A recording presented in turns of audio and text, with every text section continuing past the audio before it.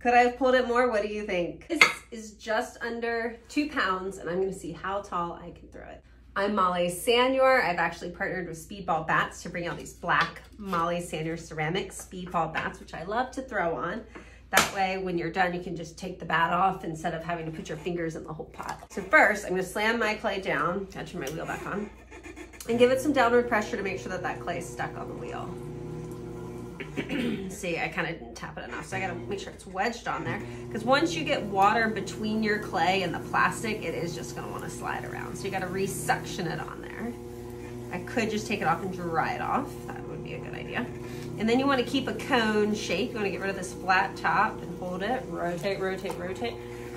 And then again, you're right now just trying to create this cone shape where it's wider at the bottom, skinnier at the top.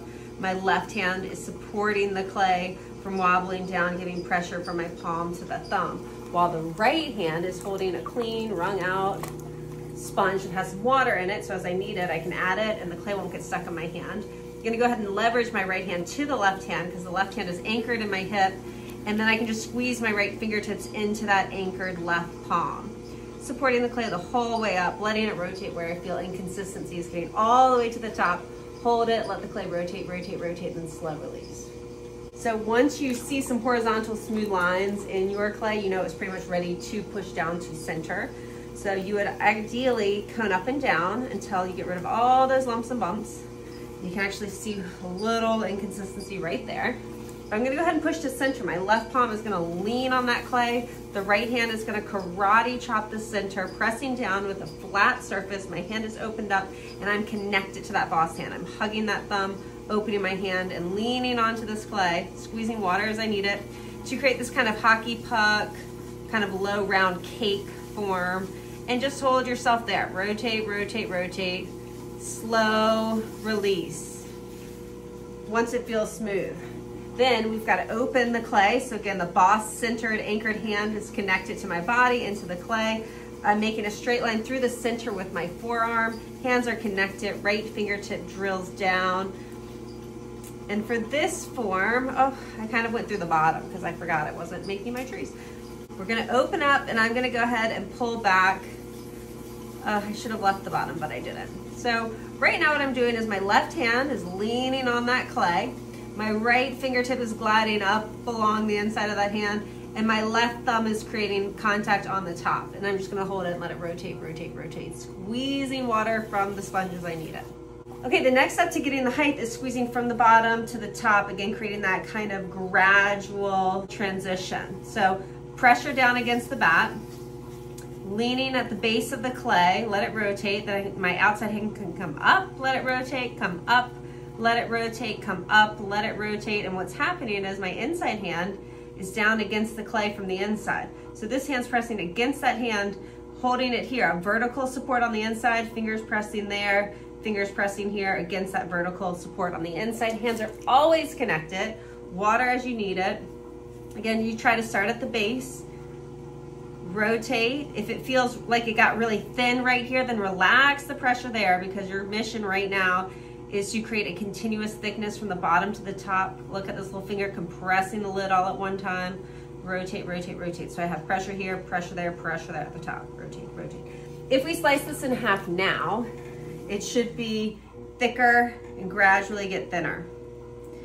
I'm gonna stick my whole hand down in there and squeeze this clay at the base. Again, my inside hand is still at the bottom. My outside hand is coming up along that inside hand, connecting my fingers as soon as I can, and then letting these outside fingers kind of press into the pressure of that inside hand, get to the top, hold that lip, let all that pressure, just hold it and rotate, rotate, rotate. If you get a thin spot, which I can kind of see is happening right here, I can just put my finger vertical along that on the inside and take all four fingers and just hold it there, elbows against my body, right there, and just let it rotate, rotate, rotate. There's some inconsistency right there. So that helps strengthen it back up. So you can see I'm containing the form to get my height. As soon as the walls go out wide, you lose your vertical. So again, I'm gonna tuck this arm down in there, Press down against the bat, squeeze this clay from the base into that inside hand. The inside hand is establishing that 90 degree transition. And then once you feel that clay start to move between your fingers, they can come up together, being aware of your thickness of clay. When you feel like you're in control, the speed can help as you kind of whip it through those fingers and let it rotate. Compress that lip, rotate, rotate, rotate. Now as you're coming up, it's the right hand's job to now be in control and to be the boss. When you're centering, that left hand had to be anchored in your hip socket, but as you're pulling, it's the right hand's job to prevent any inconsistencies or wobbles. So this right hand is anchored against my body. I'm currently pressing against the inside hand, thinking about do I have that 90 degree transition. I'm squeezing the thickness. My inside hand has not come up.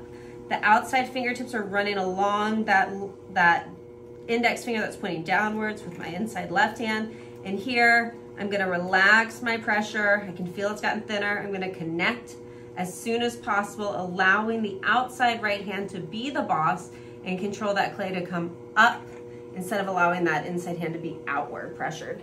Right now, we are currently at six inches. And we're gonna see if we can do one more pull. This piece started at two pounds, just under two pounds. All right, now this last trick, what's gonna happen is the right hand's gonna start at the bat. This right hand's actually gonna come above that inside hand, stretch the clay outwards, and then allow this outside hand to scoop back under it and come up together patiently. Making sure that we're patient for that clay to rotate, rotate, rotate. So look at that, the inside hand's up. It's now stretching that clay up slightly. The outside right hand is anchored in my hip. As soon as I can connect that inside hand to the outside hand, I do. The outside hand is the boss. The inside hand is just supporting at the top right fingertip or left fingertip will compress, compress, compress. Slow release. All right, let's see what that little stretch pull did for us. Okay, six and a half. So we got a half an inch. Should we do one more? Kind of want to do one more. Let's do one more. I think we can do it. So I'm gonna add a little water between my outside hand and the pot. I just add a little water so that the inside stays dry squeeze out my sponge. Starting at the bottom, you can use your knuckle, you can use your finger, you can use three fingers, one finger, whatever works for you, but you don't wanna get under it. You wanna get under it and push that clay back up. So you wanna keep that pressure supported along the wall instead of getting under it, which can cause it to wave off of it. So inside hand's gonna go down vertically. Let it rotate, rotate. Outside hand's the boss. Inside hand's gonna stretch that clay. My inside hand also has to be concerned and thoughtful about not expanding outwards along the inside of the wall. Okay. Letting that outside hand be the boss. Inside hand is holding steady all the way to the top. Rotate, rotate, rotate. Slow release. It's actually a lot more fun than I thought it was gonna be. We're at seven inches. So, you know what I think? One more pull. I'll add a little water to the outside. Inside hand, I might just, you know, make sure it's not dry. Down. All right, let's really stretch this clay. Inside hand is stretching out.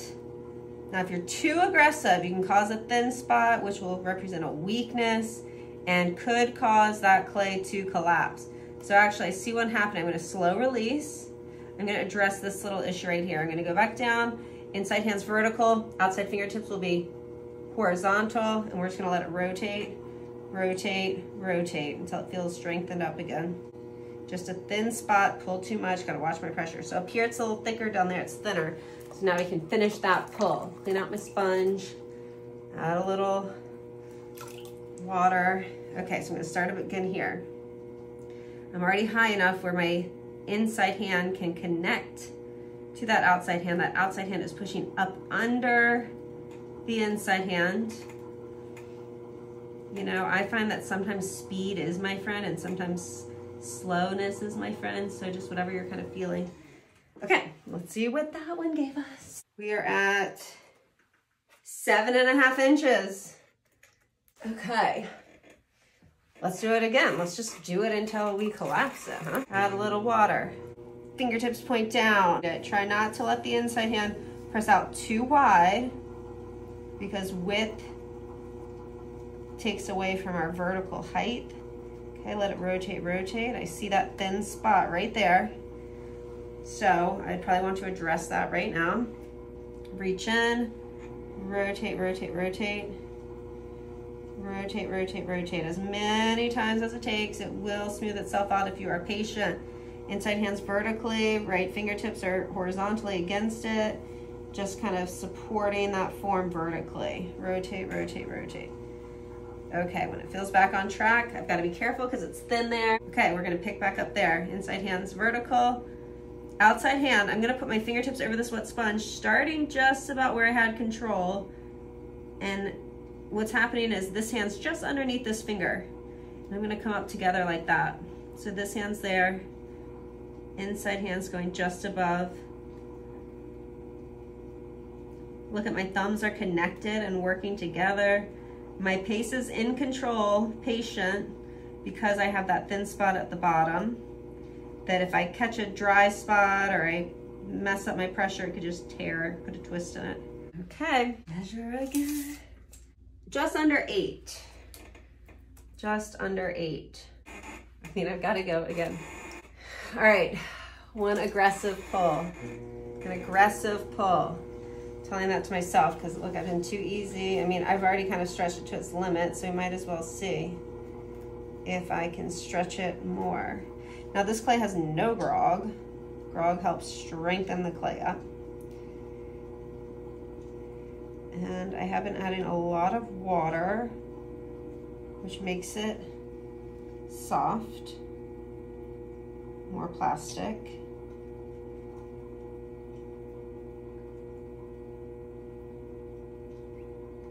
Okay, here we go. Squeeze it, squeeze it. Worst case, you rip through it, squeeze it. All right, it's a little wonky down there, but let's just see. Last one. Hope that this little cylinder project helped. This was two, two pound, just under two pounds, and we got it to about eight inches. So what I can do is put a rib on it, straighten this up. Rib is being held in my right boss anchored hand. Inside fingertip is sliding up along that rib. And then up here where it kind of goes out a little wider, I'm allowing my outside hand to be the boss. Up here, allowing that inside hand, connecting as soon as possible to the rib with my inside thumb. And then we can slice it in half. I remember this had no bottom. Let's see what walls are looking like. So there we go. Could I have pulled it more? What do you think?